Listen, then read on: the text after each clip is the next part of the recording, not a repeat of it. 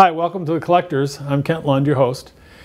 Today we have a unique opportunity. We're visiting Detroit's best kept secret, and that is early automotive illustrations that have been saved by a collector. His name is Jim Secreto, and he's my guest today, next on the Collectors.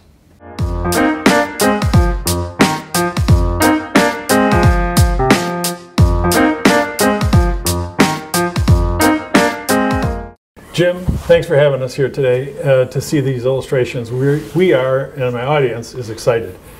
What do we got here, Jim? What's this?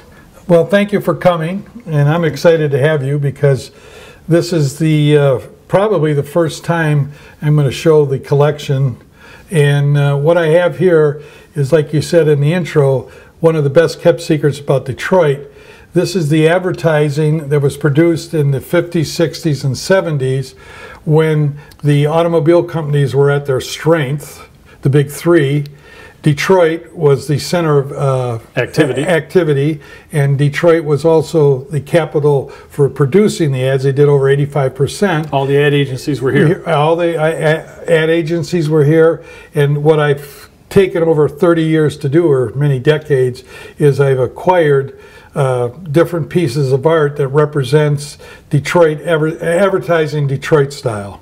And what we have here is the most famous ones, which are the Fitz and Vans, and they were the uh, company. They were the two artists from Connecticut that painted Pontiac from 59 to 71, and they did over 700 illustrations during that period. So they, they made their living, total living from that, and they were Yes. busy tw- 12 months of the year, I'm yes, sure. yes, and Yeah. they were they were exclusive to Pontiac.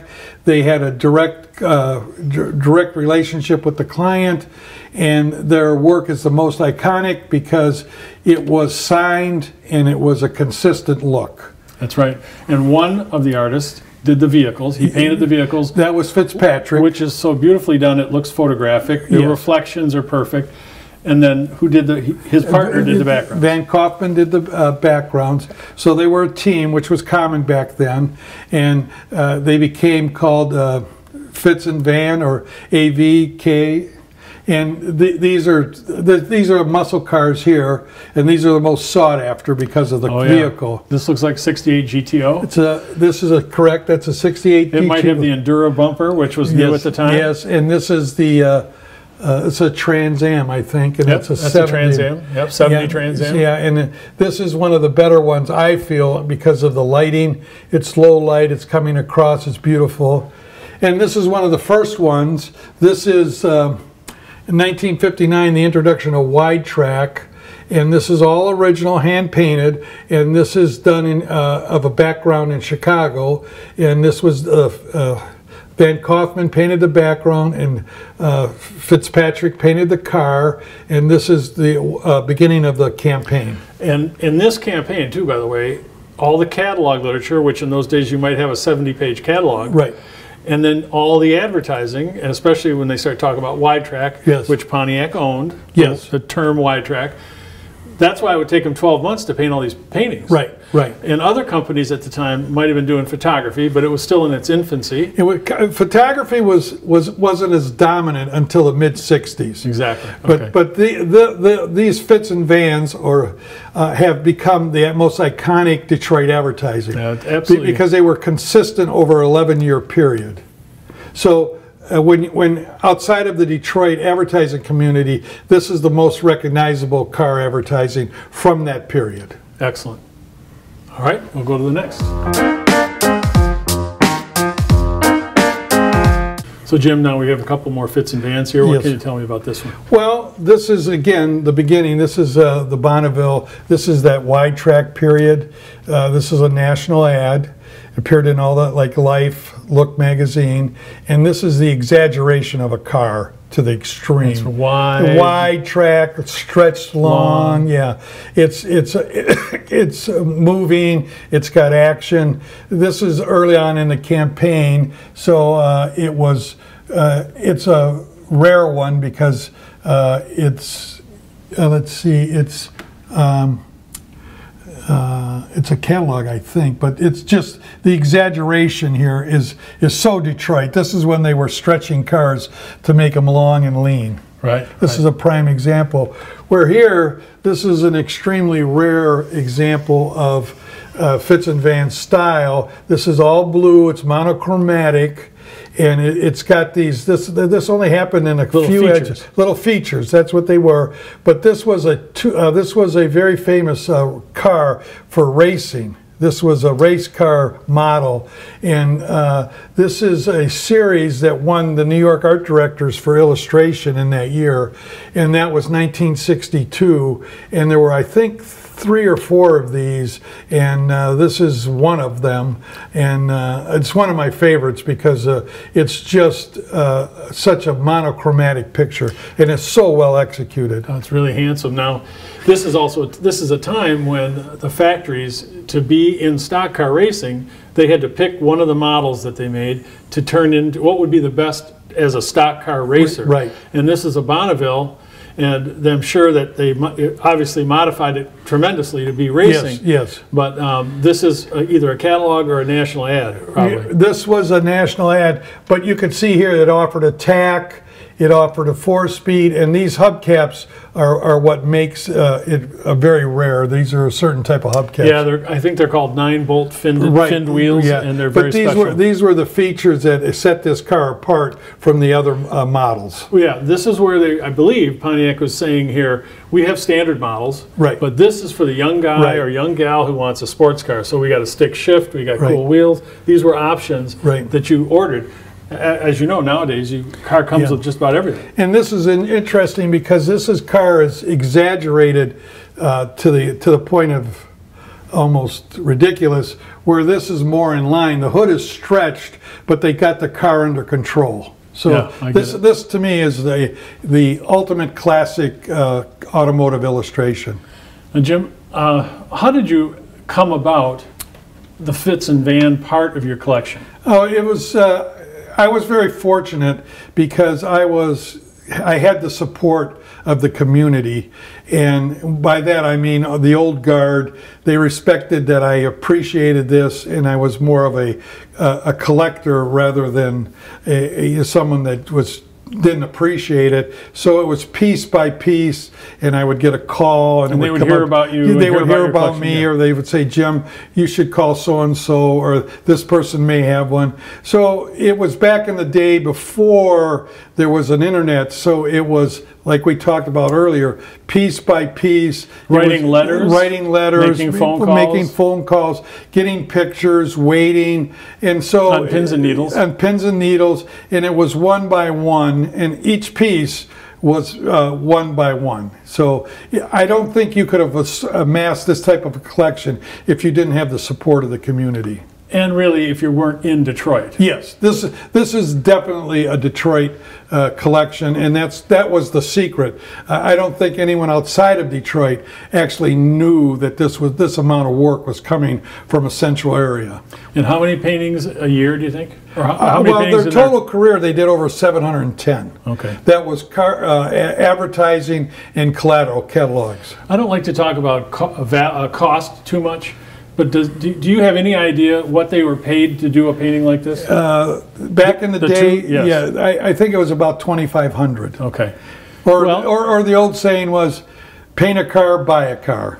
Okay, same, a, same equal thing. in price, yeah. Right. Well, and twenty five hundred in nineteen sixty two or three was quite a bit of money. Yes. Yeah. yeah. All right, great. Thank you. Now we're going to go to the next one. Yeah.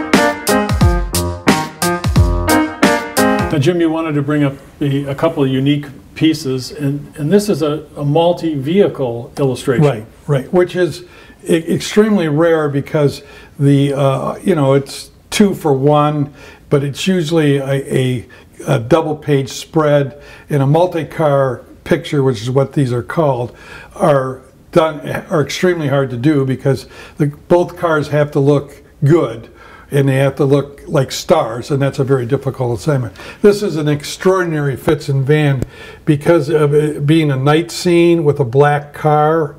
This is Yeah. uh, this is a beautiful illustration of, of a timeless period, and it, it's one of their better, uh, in my opinion, better examples of a two car. They didn't do many because the client didn't do it, but these are featuring a convertible and a and a hardtop. But this is a beautiful example of light control, Oh, uh, yeah. a white and black car. This is one of the most difficult pictures because of what you're dealing with. You're dealing with light, a white car, a black car, extremely large, chrome. So this is this is one of their when Fitz and Van were at their best. And, and I, I, in laying out something like this, a big consideration they have to take is where's the gutter in that magazine? Right. Where's that gutter going to go through the car, right? And, it's, and the gutter is right here in that dark spot, right there, right? Yeah. Exactly. Now, what I want to point out is Fitz and Van are the most recognizable, but they were not necessarily the Okay. only artists. You got And, some- and this is another fine example of a multi-car done by Howard Rogers of Graphic House. In Detroit, in. Detroit. It's a major studio, did a lot of work. But this is very painterly, uh, very difficult to do. The gesturing of the people, the cars are dominant, the cars are bright uh, with, you know, And the cars are the hero, for car, sure. In Detroit advertising, the car is hero. But this artist was able to incor- incorporate a lifestyle, uh, flow, movement. It's just a beautiful, beautiful example. It is. This is this is one of the better uh, pieces of art, and it's a three car, which is extremely rare. rare. Right. Yeah, because it doesn't. You can't get a really close look at any of the cars, but, Right. it, but it says we make three cars. Right. We make a wagon, a four door, and a two door, Right. and a convertible. Yes, So it says it all. It's a full line picture, is what it's called. Yes. And this this is a prime example of the level of craftsmanship and artistry that Detroit had to offer. This is just one of many artists that were equal of this talent. And I'm, I'm sure that some foreign car companies would come to Detroit to have this done. Uh, not not in this period. They weren't that Okay. strong. This is Okay. this is in the '60s, so it, it hadn't It material yet. But they did come, but it was still dominant by Detroit. Got it. That's why the secret is this was all done in Detroit. Got it. That's a handsome piece. A beautiful piece. Thank you. We'll go to another one Right. now. All right, Jim, you want to show us a, a couple examples here of the same car company and different approaches Right. To that particular advertising campaign. Yeah, and also this is uh, Detroit at its finest. Okay. Uh, Detroit had the pool of talent uh, that was un- unapproachable anywhere in the world. These artists were sheet metal people, uh, and they could perform, uh, put a shine on a car, and make make the car come alive. Like this, John Ball is is a prime example of an artist in total control of his media, because you could see he has the reflections in the of the building next to it. You can see right in here he has the pavement in there, and and and this this car is engineering correct. So the detail on this is superb. And this is a this is probably one of the finest examples of pure car illustration. And this is at a point in the in this in the late 60s, early 70s that the artist was competing with photography to show that they could manufacture the same look as a picture. And so this is all I'm calling it a, almost approach to photorealism in terms of illustration. And the beauty of this is you could see how he stroked his paintings to get all that. And I left that in there primarily to show the viewer how much work and talent went in there. Yeah, he's shaping his brush before he brings it to the car. Yes. And also the important thing here is is to note that he's painting the car because the client that's what they want. That's Right. what they care about. Right. But this is going to be stripped into or dropped into Yeah. a city scene, and Yeah. so he's got reference up here on his easel Yes, somewhere, right. And he's seeing what's going to be reflecting at that angle. It's like a Right. cue ball. It bounce off to here, and what's he going to be seeing? Right. You can actually, it you can, yeah, you can actually see a Yep. little subtlety in here. I see it, Because yeah. the chrome is a little gray. This is a master painter. Yeah. And it's unfortunately he, they didn't get the recognition as Fitz and Van, but they were equally talented. And where where was he? Graphic House. no, this was Skidmore Sahratian. Skidmore Sahratian, And the artist was John Ball. That's that's a cool piece. And I, this this is the, the, one of the most iconic images that I own, and this is the uh, Rapid Transit Chrysler. Uh, Plymouth, Uh, uh, Plymouth Division, okay. This is the poster. So Oh. this this actually is extremely large, and this is when Plymouth did the. Uh, they're called cartoon or action uh, imagery, and they did it for two years. And this is one of the most iconic images from that period. And this is, again was done by a Detroit artist, David Beasley, and it's out of uh, New Center Studios. But just the if you take a step back, Sure. you could see the control that these artists had. They could they could do that or this, and they were all capable. So the level of talent was so high and so competitive that it was a very narrow, small group that could compete at this level. And what's important about this, these two especially, the, this, these two images have become so iconic for muscle cars that the, these are iconic images of cars that are that are followed by Mopar people. Got it. Yeah. I have two friends in Ohio that would love to own this poster. Yeah. This, Um, this is isn't the the, poster. This is the illustration. This is the real. It, This is the real illustration. right. Um, That was- was became this- the poster. Was this the era of the uh, cartoon and the Roadrunner? Yes. Uh, Road, this is the Roadrunner and and the Scat Pack. Scat Pack. Okay. Yeah. Scat Pack was Dodge, Roadrunner, but this is extremely rare. But what a great name. The Rapid Transit System. Right. Love it. Yeah. What the interesting thing about this was they had to come up with a campaign because uh, Plymouth and Dodge did not have the money to compete with Ford and Chevrolet in terms of their advertising budget. So they took a leap of faith and took the car out of context. And it and it be this this right here is such an iconic image of the muscle car era Yes. that it's become. Uh, were so recognizable. So it was a really a leap of faith by Chrysler, Dodge, Jim Hanna, the creative director, Right. and uh, e, I think it was named uh, Easley, and they, they were the art directors, and they came up with this campaign that is is legendary in car collecting. For car collecting. Yeah. Yeah. And yet, and also a, a phenomenal illustration. Right, phenomenal, phenomenal. Great. All right, Jim, now we're switching here a little bit. We're going to talk about technical aspects. And this particular one is a technically illustrated interior of a car. correct. Uh, basically, these two pictures or these two automotive illustrations illustrate to me the talent level again because this right here is a technically like a technical illustration because this has to be technically and engineeringly correct and by that means he worked the artist which is C.H. Bills works off a uh, uh, a photograph, an engineering photograph, and then he recreates and paints. And I want you to take the time to notice the, the indication of carpeting, uh, Yes. perfor- uh, the perforation of waffle the pattern, waffle pattern, and all the gauges have the correct uh, identification. The mirror is actually got a reflection. So this actually is a three-dimensional illustration. Very, very few people could be at this level. He was a, this was C.H. Bills, and he was an interior specialist. He had a very interesting career. He started in Chrysler as a designer, then he went on to illustration, and then he did boats, Chris Craft boats. Okay. So uh, he's. Uh, And I know, I happen to know for a fact that these guys would take that photograph and do a penciling. Right. All pencil drawing. Right. And then would go back to engineering. Right. And a few days later would come back with little marks on it Absolutely saying, correct. change this, lower that, move this. Right. So, and then they'd paint it. What gear the what gear the uh, gear shift should be in? Yep.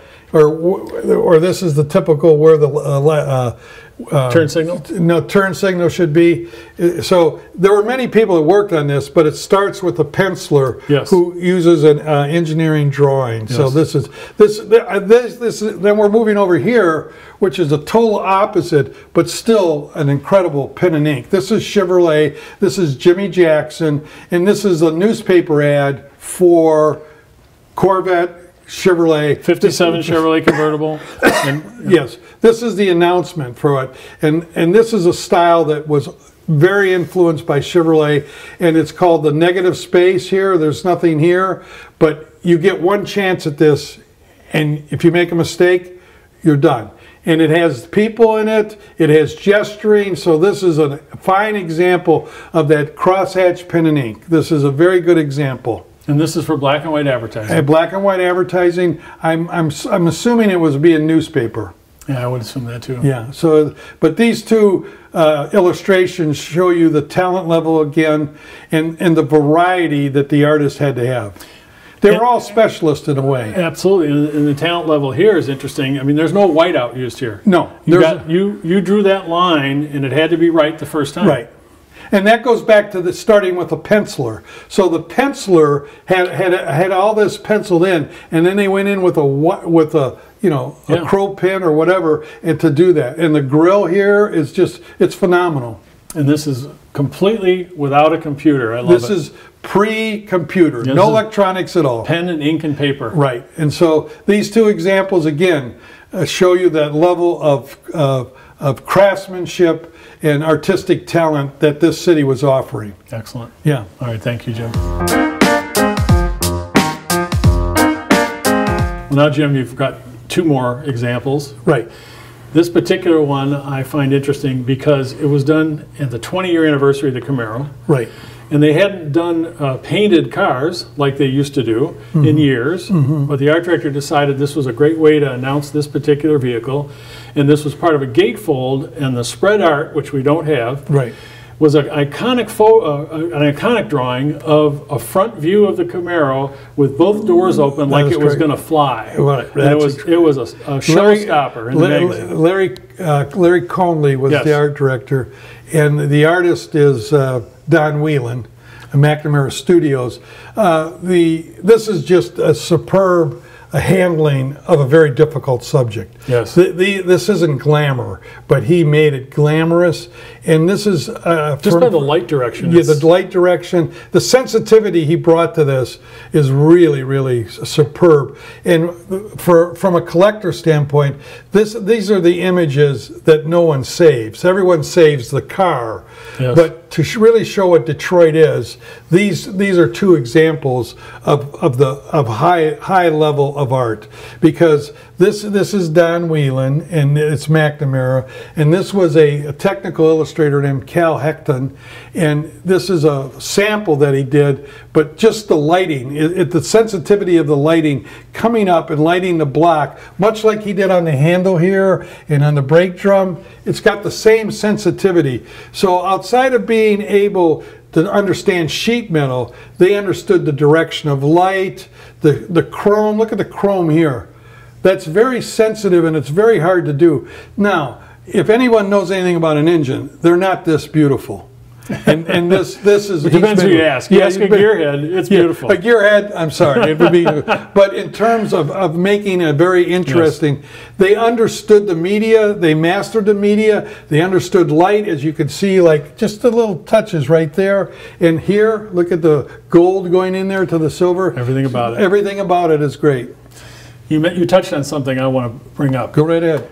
He did this as a sample. Right. One of the things that these artists would do, as photographers would do, Mm-hmm. if they had an idea in their head of a look or a style, they would spend their own time to do a sample, Mm-hmm. maybe a week, a month, a month, who knows. And they would present that to the people who are trying to make decisions for the next year's style or look. And so that this this was a sample. Right. And by sample, meaning you were presenting your work because it was a competitive market Yes. and it and it, it, it revolved every year. You had to come up with something new and and present to solve the problem for what, what was going to come next year. So it was a constant cycle of work at a high level.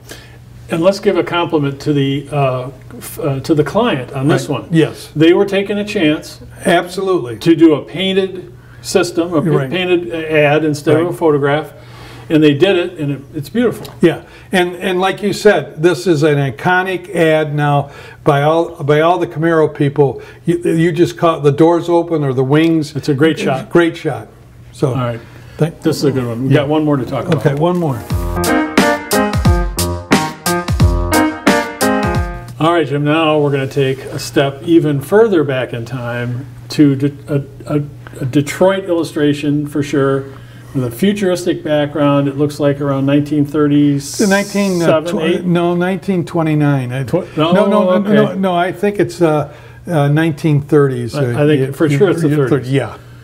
And this is Radebaugh, who was out of Detroit. He actually did uh, motor. He was known for his futuristic art, and then he came to the uh, New Center Studios, and this is one, one of his catalogs. And the interesting thing was, he did it by frisket and airbrush, which is opposed to the this, which which is a gouache. Okay, so that's real painting. Yeah, real painting. And this is an airbrush. Right. And I know he, uh, Radebaugh, had a, uh car- almost cartoon column in many newspapers, syndicated in many. Clo- closer, the closer we are, or the closer something like something that. about the future. Ran in the Detroit Free Press for many years. and other papers too. Right.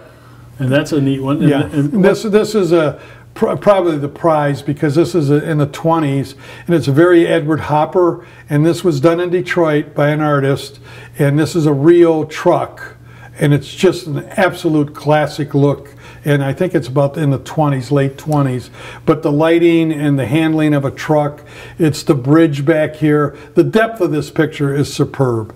It, it's it's a true painting. And this is where the band REO Speedwagon got their name. absolutely correct. All right, great. Well, uh, Jim, you know, we've really seen a, a, a plethora of interesting art here, and we're really happy that you let us view it. Well, I'm glad you got to come. Uh, I, I'm, I like to share it and let people see it because it doesn't belong to me. It's getting, it's more important that people see it and understand what it was and where it came from. I get it. Many collectors feel that way, and that's what we like about this show. And the show's about some of the stories about how this stuff is found and how it's preserved. If you have any questions for Jim or myself, you can always contact uh, my, me uh, initially at uh, BCTV, the collectors at gmail.com. And uh, if you have a collection you want to talk about, I'd be more than happy to have you on the show. Thanks.